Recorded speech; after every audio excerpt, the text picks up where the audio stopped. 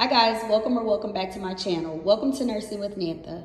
I just wanted to pop on here really quick and give you this faceless video and show you typically the types of bags that I will carry to work and what is included inside those bags. So this first bag here is what we know, we 70s babies know as a fanny pack. I don't know why these are making a comeback right now, but they are. So a lot of nurses you'll see have all of the contents that I'm gonna show you in just a minute. They carry these things inside this little bitty pouch.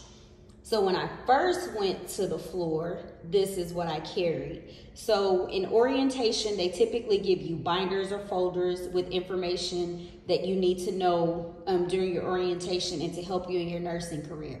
This one was very good because there's pockets on the inside of it and you can just typically slide anything extra that you need inside there and inside this top zipper part.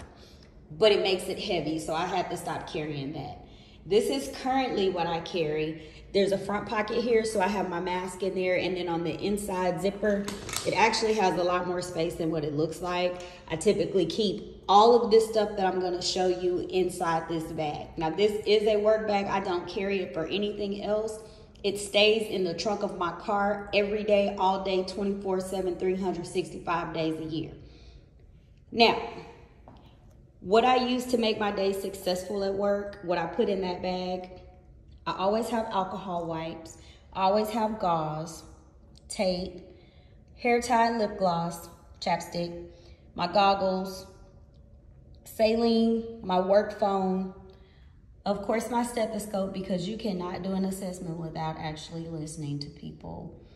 And I am a pen whore. I always keep a ton of pens. This is the only pen that I will loan out to let people use with because everything else is mine. Very territorial about my pens. I always have hemostats and nice pair of scissors. And then I have allergies really bad, so I typically keep Advil and allergy and sinus medicine with me. And then depending on what we eat for lunch, I always have some Pepcid.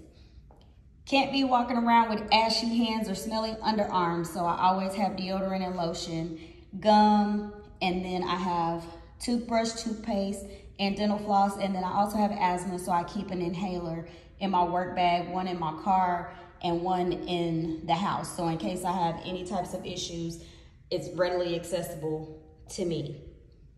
So again, just a quick overview of what is in my work bag. If you have any questions about any of the things that I have, like the stethoscope, where I got these scissors from, um, or the goggles, let me know and I will post it down below. Thank you so much for tuning in. Don't forget to like, comment, subscribe, and share. Have a good day. Bye.